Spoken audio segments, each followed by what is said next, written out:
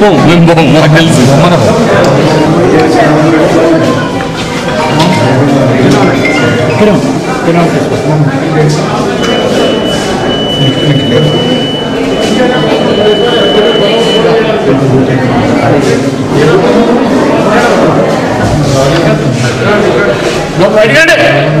ఇక్కడ రండి ఇక్కడ రండి అది కాదు ఇక్కడ ప్లీజ్ ఓకే లోపల మాకు తెలుస్తున్నారా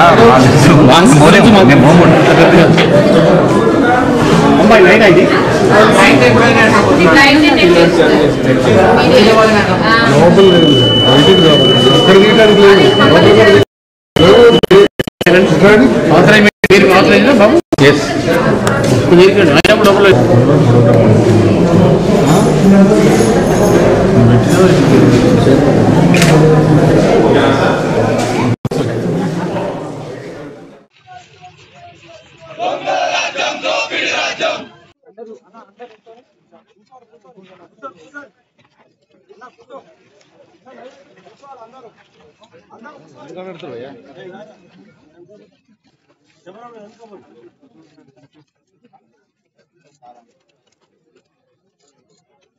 అందరూ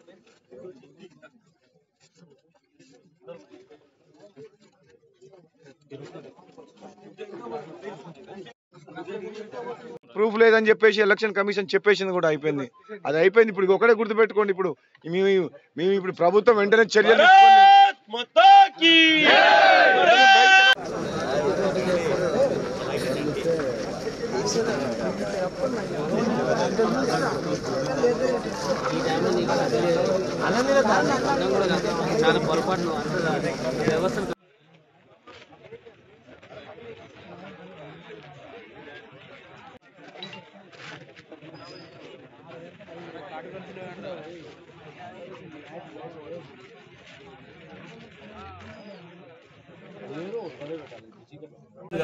మరి మీరు చేస్తారు ఏడు చూడండి సార్ ఏడు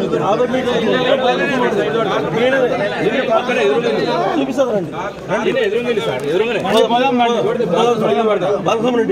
అత్తగారింట్లో ఉండు మీరు ఏం పట్టించుకుంటారు మీరు ప్రతి గ్రామంలో ప్రతి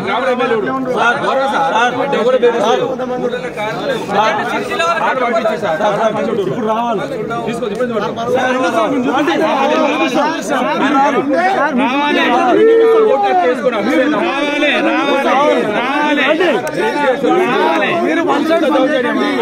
పట్టించి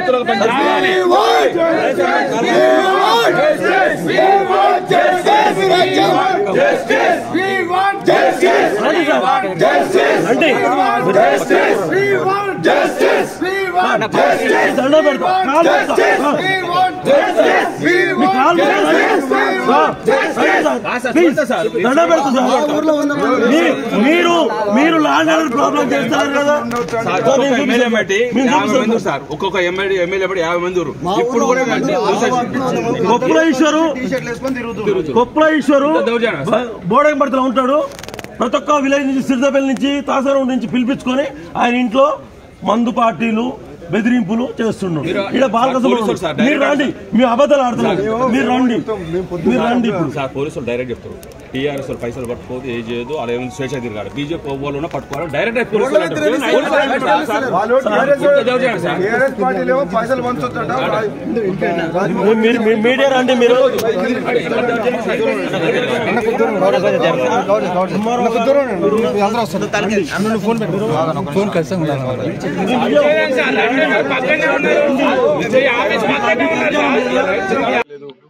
కనీసం ఎలక్షన్ కోడ్ నిన్న సాయంత్రం ఆరు గంటల తర్వాత రూల్ ప్రకారం అందరు వెళ్ళిపోవాలి కదా అవుట్ సైడర్స్ నెల రోజులు భరించినాం. నేను రాజీనామా చేసి ఈ ప్రాంతానికి అన్యాయం అవుతుందని చెప్పి రాజీనామా చేసి నేను ప్రజల దగ్గరికి పోతా అంటే గెలుస్తున్నాం అని చెప్పి జీర్ణించుకోలేక నన్ను ప్రజల దగ్గరికి పోనీయకుండా నెల రోజుల నుంచి దాడులు చేసిండ్రు. చౌటుపల్లి మండలంలో మా కార్యకర్తలను కొట్టిండ్రు. నా మీదకి రాళ్ళు ఇసిరేసిండ్రు. ఈటల రాజేందర్ గారి మీద పెద్ద ఎత్తున రాళ్ళతో దాడి చేసి గాయపరిచిండ్రు. అటువంటి సంఘటనలు వంద సంఘటనలు చేసిండ్రు. అయినా మేము భరించినాం. ఇన్ని రోజులు ఎన్నికల ప్రచారంలో మాకు ఎన్ని ఇబ్బందులు పెట్టినా మా ప్రజల్ని కలవనీయకపోయినా ప్రజల కోసం మా కష్టాలు తెలిసిన మనిషికి నేను రాజీనామా చేసి ప్రజల దగ్గర పోయి ఎందుకు రాజీనామా చేస్తా అని చెప్తే కూడా చెప్పాలంటే కూడా చెప్పనీయకుండా ప్రజల్ని మునుగోడు ప్రజలకు నాకు దూరం చేయాలని మునుగోడు ప్రజల కోసం నేను పదవి త్యాగం చేస్తే నన్ను ప్రజల దగ్గర పోనీయకుండా దూరం చేస్తున్నది ప్రభుత్వం. దుర్మార్గం అంతా రౌడీ పెట్టి తాగిపిచ్చి తినిపిచ్చి ఊరుకో ఎమ్మెల్యే వచ్చి మొత్తం ఆగం ఆగం చేసి మొత్తం నెల రోజులు ఊరుకో ఎమ్మెల్యే. ఎందుకు ఊరుకో ఎమ్మెల్యే? ఇన్ని భరించినాం కనీసం నిన్న సాయంత్రం ఆరు గంటల తర్వాత అందరు వదిలిపెట్టి పోవాలి కదా. మళ్ళీ ఉదయం ఉదయం నుంచి మళ్ళీ ఇళ్ళలోకి పోయి అందరిని బెదిరియడము పోలీసులు వచ్చి మా మా లీడర్ల ఇళ్ళలోకి పోవడం మా కార్యకర్తలను బెదిరియడం ఊరు వదిలిపెట్టి పొమ్మని చెప్పడం. ప్రలోభాలు పెడుతున్నారు తాగిపిస్తున్నారు తినిపిస్తున్నారు దౌర్జన్యం చేస్తూ బెదిరిస్తున్నారు కనీసం ఒక్కరోజన్నా ప్రశాంత వాతావరణంలో కనీసం మేము మా నాకు సంబంధించిన మనుషులు కానీ కార్యకర్తలు కానీ బయటికి వెళ్ళనివ్వట్లేదు. నన్ను బయటికి వెళ్ళనివ్వట్లేదు ఎక్కడ తిరగొద్దని అంటుండ్రు. మేము అన్ని నిబంధనలకు కట్టుబడి ఏమో మేము ఉంటున్నాం. సహనంగా మేము శాంతియుతంగా మునుగోడు ప్రజలకు జరిగిన అన్యాయాన్ని తెలంగాణ ప్రజల తెలంగాణ ప్రజలతో పాటు భారతదేశ ప్రజలకు చెప్పదలుచుకున్నాం మేము. ఈ మునుగోడు ప్రాంతానికి ప్రభుత్వం ఎంత అన్యాయం చేసింది. ఎనిమిది ఏళ్ళ నుంచి మునుగోడు ప్రజలను పట్టించుకోలేదు. ఎంతో మహిళలు ఏడుస్తున్నారు. ఇక్కడ రకరకాల సమస్యలు ఉన్నాయి మహిళలు ఇట్లా పేదలు. నేను దాని గురించి నేను రాజీనామా చేసిన. అటువంటిది నన్ను ప్రజలకు దూరం చేసేందుకు మమ్మల్ని ప్రజల దగ్గర పోనీయకుండా మీరు అందరి గుండాలని ప్రతి గ్రామంలో తాగిపిచ్చి తినిపించి ఉసిగొలిపి మా మీదకి రాళ్ళు రువ్వడం చెప్పులు విసిరేయడం మా కార్యకర్తలను కొట్టడం మా నాయకులను బెదిరించి అరెస్ట్ చేయడం లేదంటే బెదిరించి కండవాలు కప్పడం గులాబీ కండ కప్పుకుంటావా లేదా? ఇప్పుడు చూస్తే కనీసం ఒక రోజైనా ఉండనంటే అంటే ఒక రోజు ఈ రోజు కూడా మొత్తం ఇక్కడ టీఆర్ఎస్ పార్టీ నాయకులు మునుగోడు నియోజకవర్గంలో ఉన్నదు.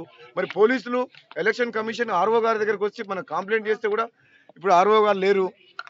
ఎస్పీ గారు ఫోన్ చేస్తే చెప్దాం కొడదు మా వాళ్ళని కొడుతున్నారు నేను ఈటలు రాయిన తర్వాత అన్ని ఊళ్ళలో దాడులు చేసి భయపడి భయభ్రాంతులకు చేస్తున్నారు బీజేపీ కార్యకర్తల్ని.